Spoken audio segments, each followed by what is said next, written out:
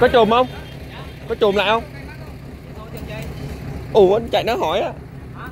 Chạy công an nó hỏi sao? Biết rồi nó nó hỏi. Chùm lại cho chắc.